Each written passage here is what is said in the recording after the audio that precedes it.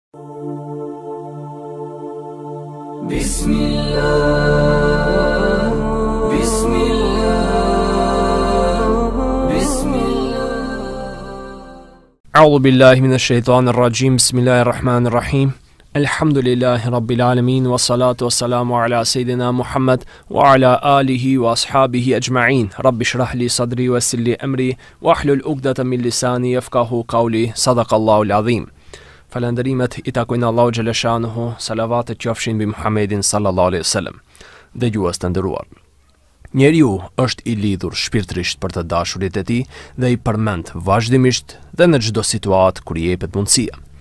Kur ai përmend ata që i don, ndjehet krenar dhe sikur e ngrit peshën e tyre para të tjerëve. E pasi njeriu përmend vazhdimisht njerëzit të familjes së tij apo ata me të cilët është në lidhje, Atëherë, si duhet të jetë të përmendurit e Zotit nga një besimtar, që në zemrën e tij nuk ekziston ndonjë dashuri më e madhe sesa dashuria për Zotin? Besimtari musliman duhet vazhdimisht të angazhohet për të përkujtuar Allahun xheleshanuhu dhe të mos kalojnë shumë çaste pa qenë emri i tij në përkujtimin e vet. Besimtari e përmend Zotin kudo që i jepet rasti, sepse përpos që e përkujton krijuesin e vet, ai edhe realizon një adhurim përmes kësaj mënyre. Kjo mënyrë e të adhuruarit të Zotit në fenë islame njihet me termin dhikr. Dhikri, në aspektin gjuhësor, rrjedh prej fjalës dhekere, që nënkupton të përmendurit, të zësh në gojë, të sjellësh ndër mend, e ringjall në kujtesë, mendoj për Allahun xheleshanuhu, e lartësoj Allahun xheleshanuhu, e shumë kuptime të përafërta. Kuptimi më i gjerë i dhikrit është ta përkujtosh Allahun xheleshanuhu me mendje dhe me gjuhën tënde. Sa i përket dhikrit në Kur'an, ai përmendet në shumë vende, saqë nëse do të tuboheshin të gjitha ajetet, do të kishin mbushur edhe një libër. Por, ne do të ndalemi në disa prej tyre për ta pasur të qartë vlerën e këtij ibadeti dhe mënyrën e realizimit të saj në mënyrën sa më të përkryer. Dhikri konsiderohet nga ana e Zotit si vepra më e madhe që mund ta kryejë një besimtar, edhe pse ajo është e thjeshtë për t'u realizuar, sepse në këtë mënyrë robi qëndron i lidhur gjatë gjithë kohës me Zotin. Thotë Zoti në Kur'an: "Wa la dhikrullahi akbar." E të përmendurit e Allahut është puna më e madhe. Po ashtu thotë Allahu xheleshanuhu, ja eyyuhalladhina amanu dhkurullaha dhikran kathira. O ju që keni besuar, përmendeni Allahun sa më shpesh. Zoti kërkon prej neve që ta kujtojmë atë sa më shpesh dhe të mos na kalojnë çaste, ditë apo javë pa e kujtuar Allahun xheleshanuhu. Edhe vetë i dërguari i Allahut sallallahu alaihi wasallam e përkujtonte Zotin në çdo gjendje. Prej këshillave të pejgamberit sallallahu alaihi wasallam ndaj nesh Kur është në pyetje shpeshtimi i dhikrit na përkujton që ta shtojmë deri në atë masë saqë munafikët të fillojnë edhe të kritikojnë me shigjetat e tyre. Transmeton Abdullah ibn Abbasi radiallahu anhu se Resulullahi sallallahu alaihi wasallam ka thënë: "Bëni dhikr në një mënyrë të tillë që munafikët të fillojnë të thojnë, ai mburret dhe e ka për ta pa të tjerët." Ndërsa në transmetimin tjetër vjen me këtë formë. Transmeton Abu Sa'id al-Khudri radhiyallahu anhu se i dërguari i Allahut sallallahu alaihi wasallam ka thënë: "Shtoni dhikrin, përmendjen e Allahut derisa të thonë të tjerët se ai është çmendur." Po ashtu prej mirësive të përkujtuarit të Allahut xhaleshanu është edhe rikthimi i kësaj vepre me të njëjtën mënyrë nga ana e Zotit. Nëse ne e përmendim Allahun xhaleshanu, edhe ai do të na përmend neve me falje dhe mëshirë. Gjithsesi, na përmend edhe para melekëve dhe elitës më të lartë qiellore. Thotë Allahu xhaleshanuhu, Fadhkuruni adhkurkum. Më kujtoni ju mua, edhe unë ju kujtoj juve. Në këtë drejtim kemi edhe porositë e pejgamberit sallallahu alejhi ve sellem që e vërtetojnë ajetin në fjalë, ku transmeton Abu Darda radhiyallahu anhu se pejgamberi sallallahu alejhi ve sellem ka thënë: Allahu xhaleshanuhu ka thënë, unë jam me robin tim përderisa ai më përmend mua, përderisa i lëviz buzët duke e përmendur emrin tim. Këtë hadith e regjistron Hakimi në al-Mustadrak. Kjo është një prej varianteve përmes të cilëve përcillet ky hadith. Kurse nga Abu Hurejra, radhiyallahu anhu, po ashtu përcillet me një shtesë, ku thotë se pejgamberi alejhi selam ka thënë. Thotë Zoti, unë jam ashtu siç më mendon robi im dhe jam me të kur më kujton. Nëse më kujton në vetvete, edhe unë e kujtoj atë në vetvete. E nëse më përmend në shoqëri, unë e përmend në një shoqëri më të mirë se ajo. Nëse më afrohet një pëllëmbë, i afrohem atij një krah. Nëse më afrohet një krah, i afrohem një pash. Nëse më vjen duke ecur, i shkoj atij duke nxituar. Hadith i ngjashëm përcillet edhe nga Muadh ibn Anesi radhiyallahu anhu se pejgamberi sallallahu alaihi wasallam ka thënë: Thotë Allahu xhaleshanuhu, nuk ndodh që robi të më përkujtojë në vetvete, që edhe unë të mos e përkujtoj atë në veten time. E ai nëse më përmend para ndonjë grupi, unë do ta përmend atë para Meleil Alasë, pra melekët më të lartë. Thabit al-Bunani në koment të kuptimit të këtij ajeti që e përmendëm më lart thotë, Unë e di kur Zoti më kujton dhe më përmend. Njerëzit që e dëgjuan këtë e pranuan me pakëndshmëri të madhe, andaj e pyetën, Si e din tha këtë? Ai tha, kur unë e përmendi atë, edhe ai më përmend mua. Ku ka nder më të madh dhe më të veçantë për njeriun se ta përmend Allahu xhaleshanuhu atë me emër para krijesave më të zgjedhura që janë melekët. Paramendoni veten sikur jeni në një mjedis ku gjendet kryetari i shtetit së bashku me gjithë elitën e shtetit dhe para gjithë të pranishmëve të përmend ty me emër dhe të lavdron.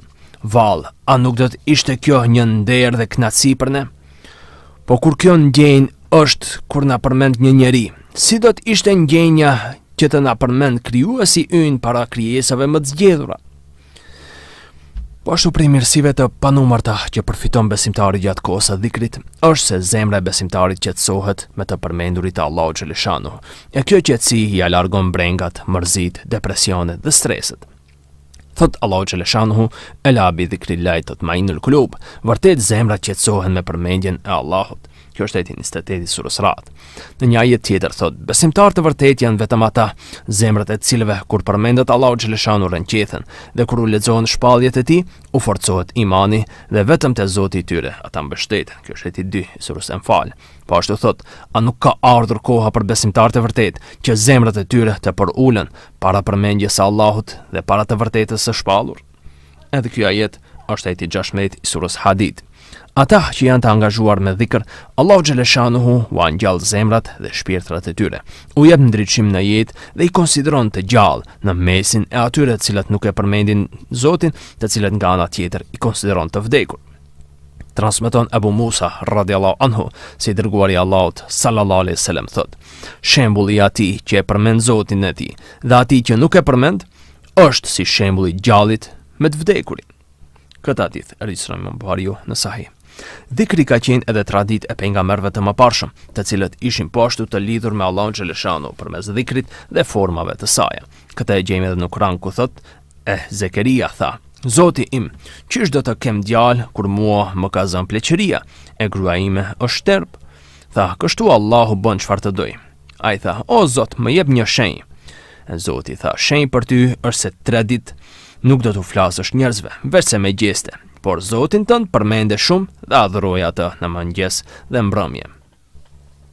Kjo është ajeti 40 dhe 41 i surës Ali Imran. Prej haditheve që konfirmojnë këtë, është edhe teksti që e transmeton Harith el Eshariu radiallahu anhu, se pejgamberi sallallahu alaihi sallam ka thënë, Allahu e urdhroi Jahjan, birin e Zekerias alaihi sallam, të vepronte pesë gjëra, dhe për zbatimin e tyre të urdhronte edhe beni israilët. Ai tuboi njerëzit në Kuds dhe derisa u mbush vendi plot ai tha: Allahu më ka urdhëruar me pesë gjëra dhe për to ju urdhëroj edhe juve.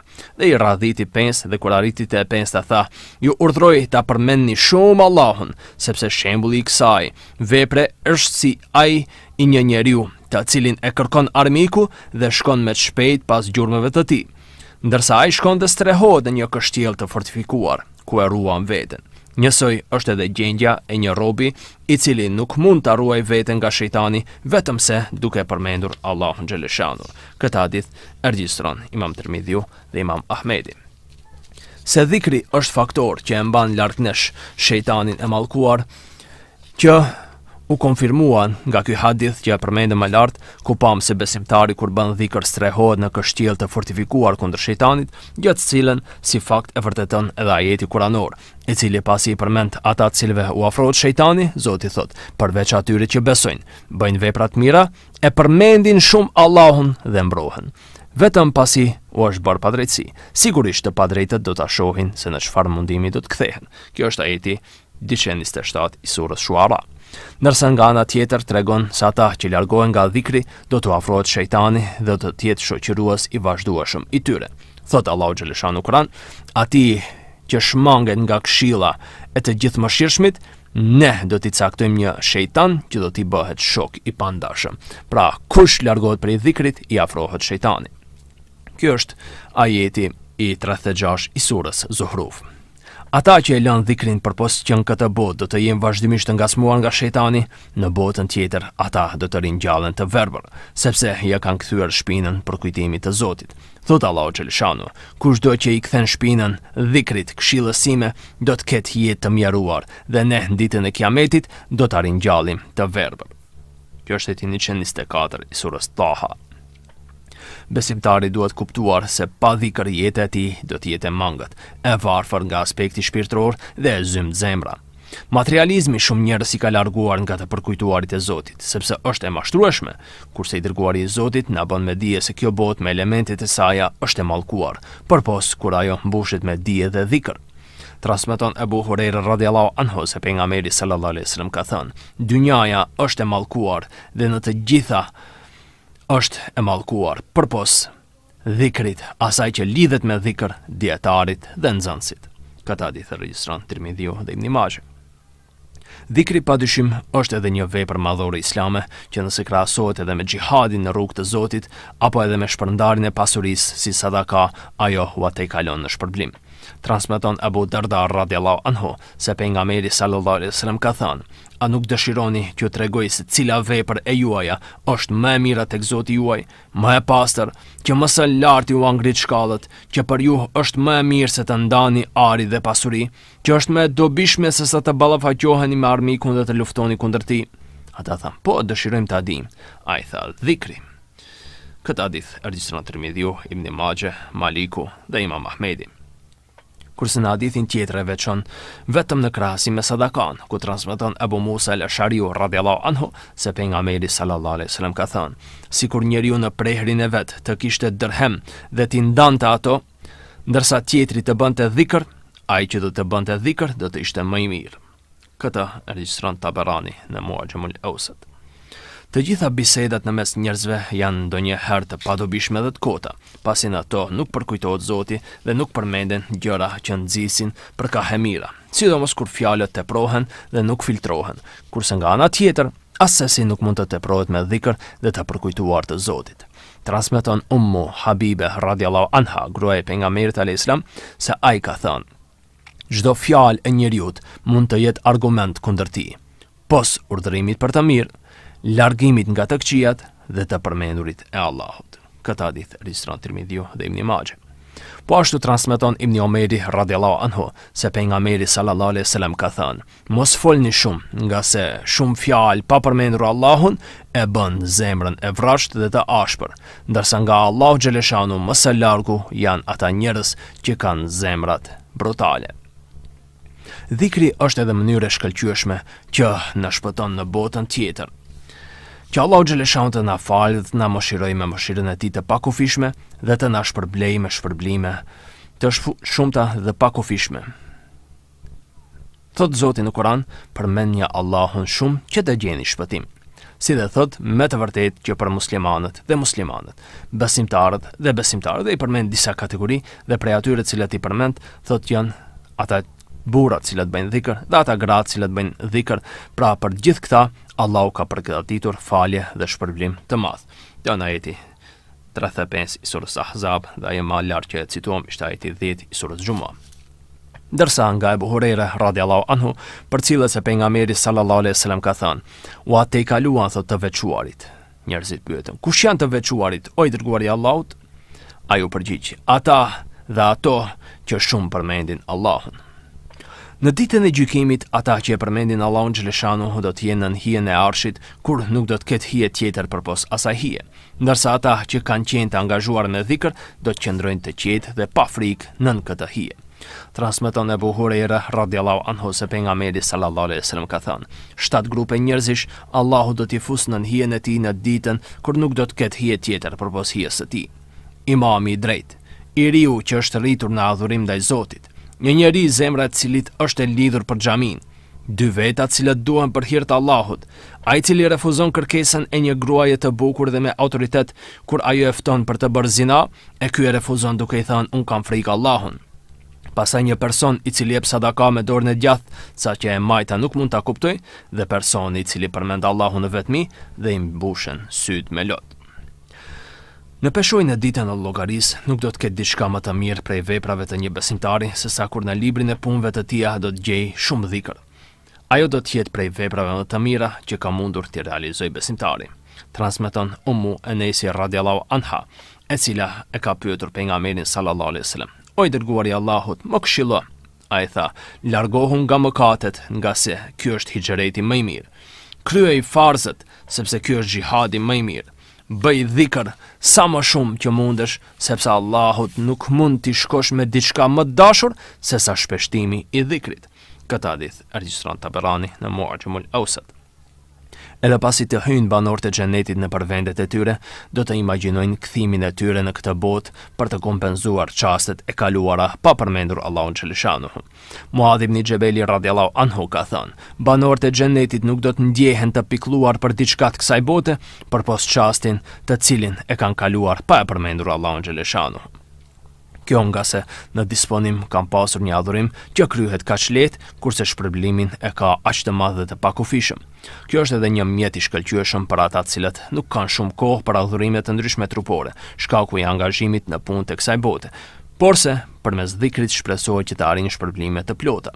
Transmeton Abdullah ibn Busri radhiyallahu anhu se një njeri i tha pejgamberit alayhis salam: O i dërguari i Allahut, detyrimet e Islamit më janë shtuar, andaj më trego diçka të lehtë që t'i përmbahem asaj. Pejgamberi alayhis salam tha: Le të jetë gjithmonë gjuha jote e freskët dhe e lagët nga të përmendurit e Allahut. Këtë hadith e regjistron Tirmidhiu, Ibn Maxhe dhe Imam Ahmedi.